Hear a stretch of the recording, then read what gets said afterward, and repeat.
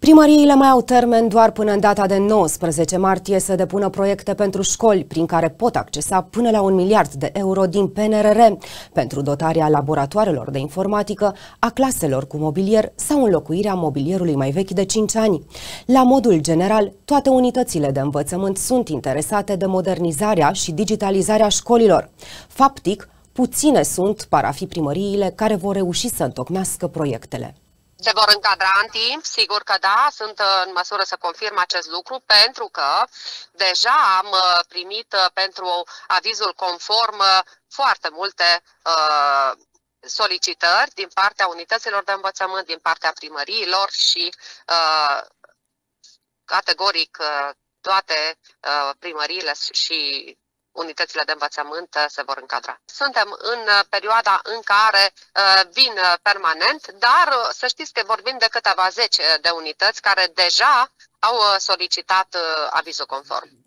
La nivelul județului Hunedoara funcționează 108 unități de învățământ de stat. Chiar dacă interesul școlilor este mare pentru obținerea de fonduri nerambursabile, pentru modernizarea și digitalizarea acestora, sunt și primării cărora le va fi greu să susțină astfel de proiecte din cauza cheltuielilor neeligibile. Am văzut acum că numai patru primării au depus pentru mobilier uh, la școli și table inteligențe și ce să dă la da, școli. este un proiect uh, păi, proiectul care de până, apreciat acum da, pentru că teoretic, foarte apreciat. Fi uh, dotate școlile cu da, cele vreau să vă spun că primăriile Păi nu că prim, primăriile trebuie să acceseze să cei uh, care da, ei accesează. Da, vreau să vă spun oferte pentru consultanță.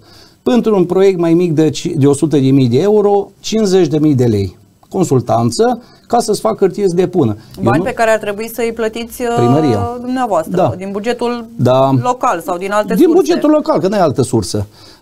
50 de mii de lei, deci dau la o firmă 500 de milioane ca să-mi aducă 5 miliarde, 10% din, din ăsta. Păi care primărie are să dea și la pentru ăla 500 de milioane proiect pe piste de biciclete, 500 de milioane proiect pentru nu știu ce. Ce primărie are banii ăștia?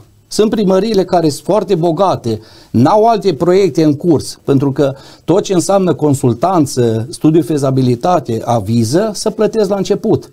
Că tu recuperezi banii după aia pe unele măsuri, de, dar la PNR nu-i mai recuperezi.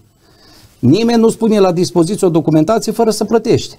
Pentru că nimeni nu lucră gratis. Niște sume exorbitante și atunci o să vedeți primării de comune care nu, nu aplică pentru astfel de proiecte.